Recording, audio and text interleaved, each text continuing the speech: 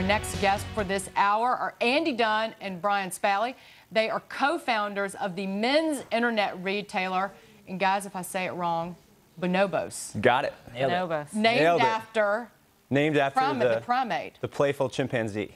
Of course. Oh. this is a this is a fun story. So I basically just couldn't find pants that fit, and had a girlfriend who who lent me a sewing machine and said, "Why don't you start fixing them yourself?" It was kind of a dare, kind of a joke, and it turned into um, a bunch of pants that fit me a lot better than anything I could find in stores. These pants actually fit every guy that put them on. So it, it was the, the idea was at first, you know, I kind of have a um, like a, a funnier shape of build that's harder to find pants that fit. But it turned out that tall, thin guys put them on and liked them, and shorter, uh, huskier guys put them on and liked them, and everything in between. So I think we knew that there was a business here when we saw that happen. When the when when 15 guys came over and every single guy bought two or three pairs of pants.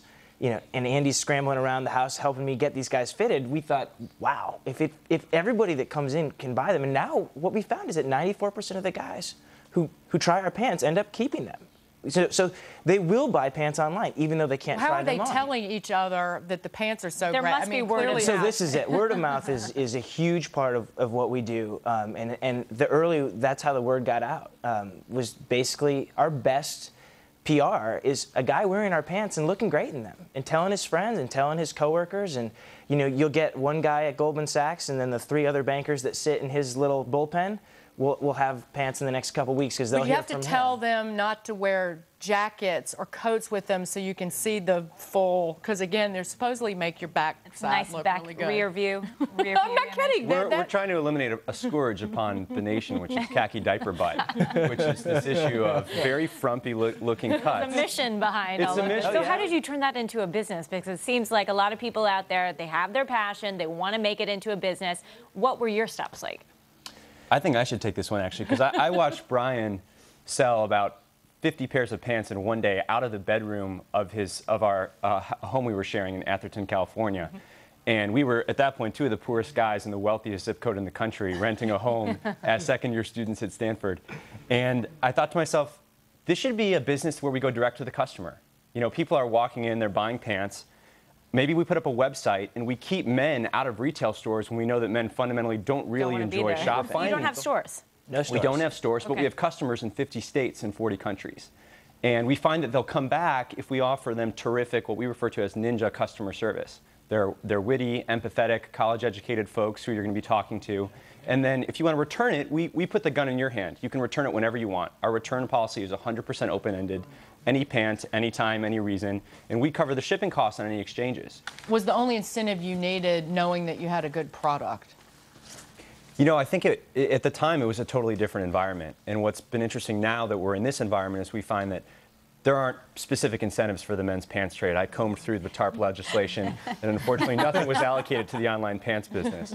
The incentives, though, are that there's nothing better to be doing right now than trying to build an innovative business. I mean, when you look around the country at a lot of the, large companies that are falling on hard times, I think it's a spirit of entrepreneurship and innovation that has always propelled this country forward. And so the incentives are more subtle. We just acquired a second office space in Manhattan, which, which Brian was able to get a fantastic deal on, Yeah. in part because of what's happening with the real estate market here. Yeah. In terms of finding talent, we just put out postings that are very aggressive in terms of describing specifically the kind of person that we want to hire, the culture of the company, what we want to do differently. And we put them out on Craigslist, and we put them out on LinkedIn, and we put them out on dostang.com, and we put them out on these job boards. And we find that the, the talent and the candidates come to us. And so now is a, is a wonderful time to be saying, hey, we've got a growing company, come join us. And they're like, wow, wait a you know, I'll, I'm happy to work for equity and not a lot of cash compensation to build that next great American company. It's all about the upside. Did you overestimate how much you would need to get off the to get things really, really ramped up? You know, it's funny. Reality helped us overestimate over time. And when we when we set out to raise capital, we set out to raise three hundred thousand dollars, and we were very lucky to have two mentors of ours invest in the company. And say, and we kind of sat down and said, we want to sell pants online, and they said, well, that's either an incredibly stupid idea or a genius one. Right. And then you stood up and showed them your butt, Well, the, right? and then said, "Look at these pants." And they, no, I'm just kidding. initially we thought we would raise that amount and one of the things that we did was we didn't scale the cost side of the business past the revenue side so we were very slow you know i started full time and brian was working another job We waited to watch the growth of the business. Before we start taking calls, how is business? How's it growing? And what about Monday? You got a second round of financing not long We ago. did. It's- 2.8 million. Is how much it was? It, it, it was. It's been phenomenal. I moved to New York in October of 2007 with two suitcases and 400 pairs of pants, put them up on the shelves of my bedroom wall, and would wake up in the morning and make my bed, and then do pick, pack, and ship, which at that time was two or three orders a day. So I think we started with 10,000 in revenue in our first month, Mm-hmm. and this March we'll do north of 325,000 of revenue. How many pants have you shipped? We shipped 12,000 in our first year. We broke even in 2008, just about on profitability. And we've the most fun part is we've created 15 jobs here in Manhattan, and have 15 folks coming into work every day who are thrilled with what they do, and currently doing 100% of our manufacturing here in the garment district of New York City. Got a direct question here.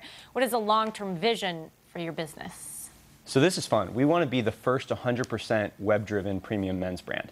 We, we basically want people to, to sit back and hit their heads and say, guys don't like shopping.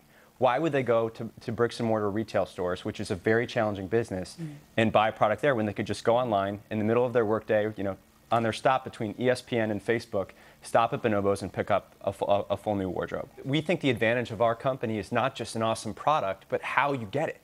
And this is the insight that we feel like is missing in the apparel world. If you look at the top 25 service companies in the country, there are only two apparel brands on the list, and they're Land's End and LL Bean. And we're, we're delighted to plug them on air because we think they deliver fantastic customer experiences, not just the product, but taking care of you once you bought it. They're our role models. I mean, it, and this is a funny thing that people will let. This is another, I think, a wall that prevents people from starting businesses, which is worrying about someone else stealing your idea. Just go do it and do a great job. And, What's next? Well, quickly, what's next? What? Because what else are you oh, going to do? Oh you're boy, do- there's so many good things coming. We, we, we have heard from guys that they want us to make not just their pants, but their shirts and their shoes and their belts and their ties and everything else. So we're, we're really looking forward to expanding the team and, and to creating more jobs here in New York and to, and to helping guys so that they can go online to bonobos.com and get not just their pants, but the whole outfit. And make the world a better place because we don't have to look at saggy khakis. Thank you for that.